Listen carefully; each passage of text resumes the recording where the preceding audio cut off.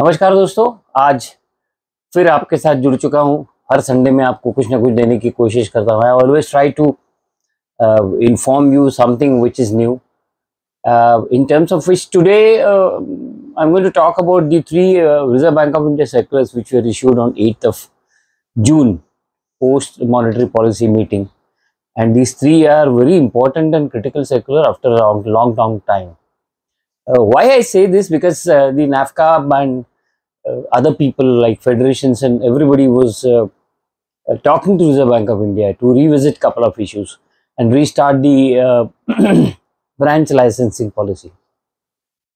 In this regard, the Reserve Bank of India has issued three guidelines, three critical and very important guidelines. One is about the priority sector and uh, the achievement of targets, and the second is about the uh, what we call uh, rationalization of branch authorization uh, policy for urban cooperative banks and uh, the framework for compromise settlement and technical write-offs. Of these three, uh, I am going to talk today about the only two circulars because the third one requires a lot of uh, understanding of other issues, other legal issues, and therefore uh, the uh, compromise settlement and technical write-off I'll deal uh, next Sunday. That's a promise to you. Uh, so that I give you uh, a vision in order to implement these circulars in your bank. First of the two circular which I'm talking uh, about is the uh, rationalization of branch authorization policy of urban cooperative banks. Many of the urban cooperative bankers could be aware that uh, some 10-12 years ago, Reserve Bank of India had uh, evoked a formula of granting license to the extent of 10% of uh, branches which a bank is having. So if you are having uh, 40 branches, you would be given four licenses. They have uh, standardized certain norms in this. What is the standardization? If you are under financially sound and well managed uh, setup, if your bank is financially sound and well managed as per the December 22 circular, there is a general permission if you are complying with the FSWM criteria, I believe roughly around 5 to 600 banks would be uh, in the FSWM criteria. They have been granted a straight permission to open 10% of the branch licenses within their command area, within the operational area which they are having.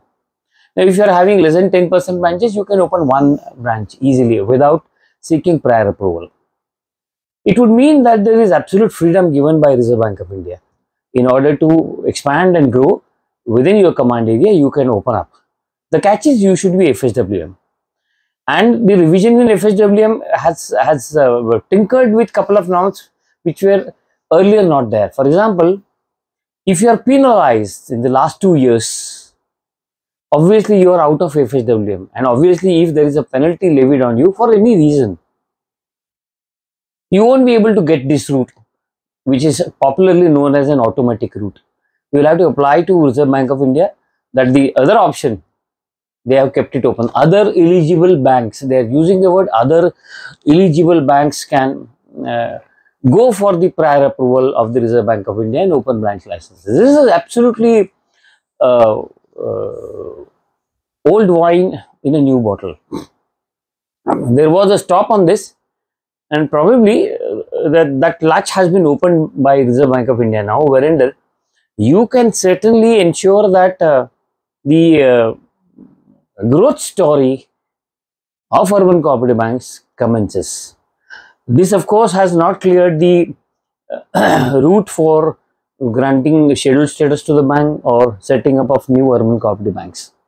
But then existing branches, existing uh, urban cooperative banks can definitely grow uh, either uh, through an automatic route or a non-automatic route. And that is that is what the idea is. And the focus is on FSWM and this is applicable to all the tiers all tier 1 to tier 4 all banks.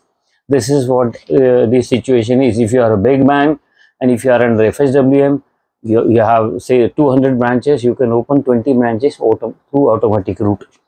Uh, one of the key conditions is that they have granted exemption from this automatic route uh, to certain areas like extension uh, counters or uh, zonal offices, controlling offices or ATM not covered here. You have to seek prior permission uh, from them and then you have to submit the information to uh, Reserve Bank of India. They have prescribed their own time limit also. Within 90 days you will get the clearance. That's what the uh, story is all about.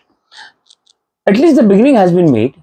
A lot of things could further be improved in, in the sense that if the bank is not in, in F, FSWM, probably because of one of the criteria. And I personally believe that the uh, idea of uh, banks which have been punished or penalized for one of their offenses the jurisprudence says that अगर आपको punishment हो गई है तो बार बार punish करने की जरूरत नहीं है तो इसका मतलब ये कि for one offense if you have been penalized there the offense is relinquished offense gets over so the condition that if there is a penalty two years you will not be getting license is little harsh that needs to be revisited for the simple reason that penalty तो दे दी bank ने उन्होंने correction भी करवा लिया फिर भी उनको अगर ग्रोथ से वंचित करना है तो शायद there is need for reserve bank of India to reconsider of course the federation federations and NAFCABs would definitely take up this issue because almost uh, 300 banks in the last two years have been punished. It would mean that out of 1400 banks, 300 banks, even if they are under FSWM, they will not be able to apply.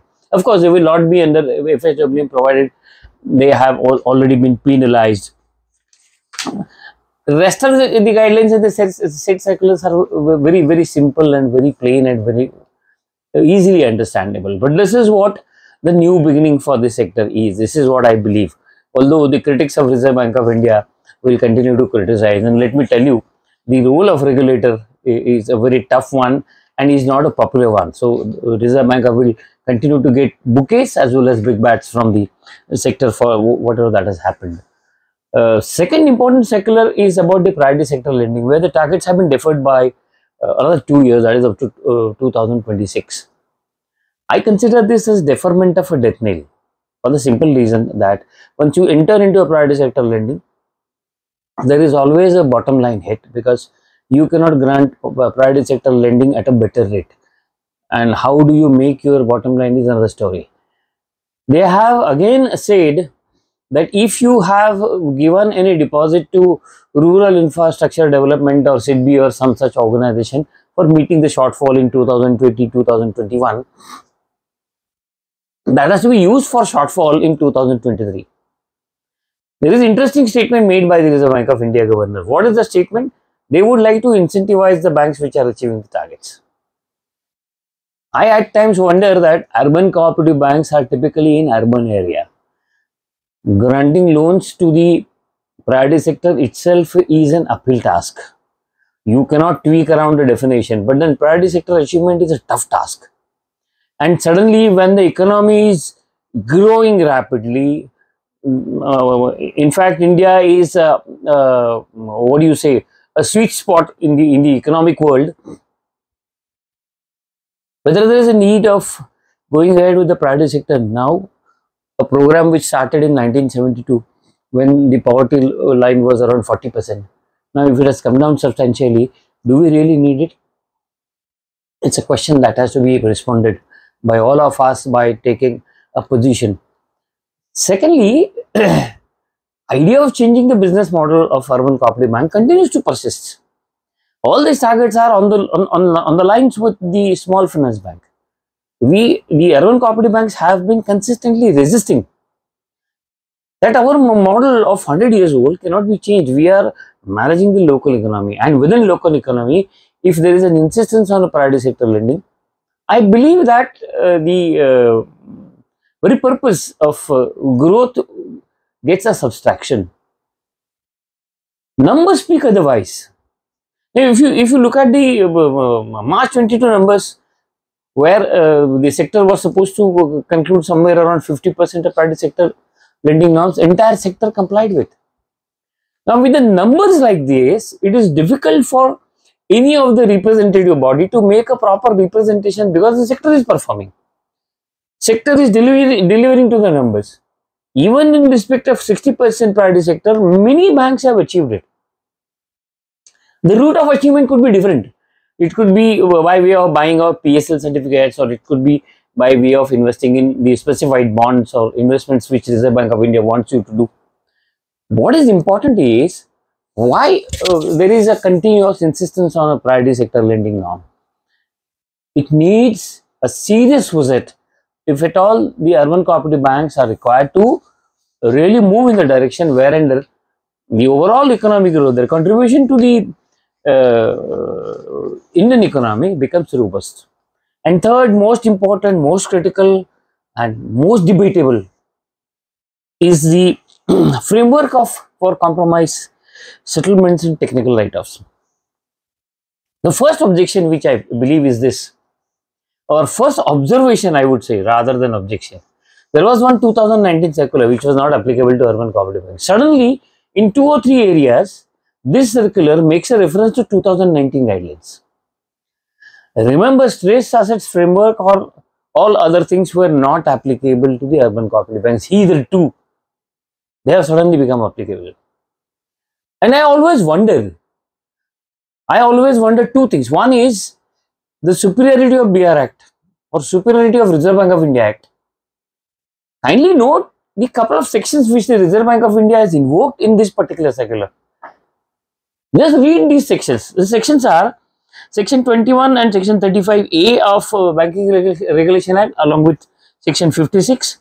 Chapter 3B of Reserve Bank of India Act 1934, section 30A, 32, 33 of National Housing Bank. It's very interesting to note. Most of these sections tell you the idea about the powers of Reserve Bank of India to control the advances of a banking company. this would mean that why these sections are being invoked? These are being invoked simply because the other sections are also equally applicable. My, my question therefore, I am still uh, trying to find the answer. Whether this circular grants exemption to the process on the respective state laws act in respect of write-off. You call it prudential, technical or whatever. That hitch remains. And therefore, in order to respond with a careful study, I would like to uh, present my views on next Sunday on this particular topic. I hope that uh, mm, now the Reserve Bank of India is taking uh, bold steps in order to ensure that the sector really grows. Sector really grows. Post expert committee report, these are a couple of things which have come true now. Uh, I thank Reserve Bank of India for whatever they have been done. But then, this would not have been possible had the Ministry of Cooperation and the NAFCUB or the federations would have taken up the issues with the Reserve Bank of India in same voice, in same sense. I believe that the time of uh, turning around for urban cooperative banks is here I hope that uh, you make most use of uh, the two circulars which I have discussed. As far as the third circular about the framework of compromise settlement and technical write-off, we'll speak on next Sunday because I'm expecting a couple of views on this particular story. There is still a confusion as to what is to be done. I'll try to answer a couple of confusion. I'm expecting some questions. I have already got a couple of questions and that has forced me to postpone my comment on that particular circular keep watching this channel you will get few more ideas next sunday thank you for watching please like it share it subscribe inform all your friends सभी दोस्तों को बताइएगा सवाल पूछिएगा कोई भी परेशानी हो सवाल पूछिएगा मेरा मेल डिस्क्रिप्शन में रहता है please do that thank you thank you so much for watching